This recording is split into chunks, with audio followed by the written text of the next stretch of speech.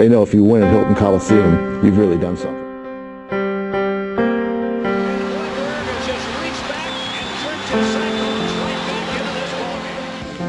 What if I told you that you should never doubt the power of home court advantage?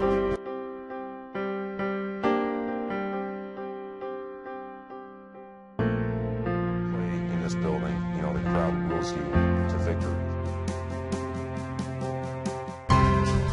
That sometimes you just gotta believe in fairy tales. ESPN's critically acclaimed 30 for 30, presented by Levi's, Tuesday at 8 p.m.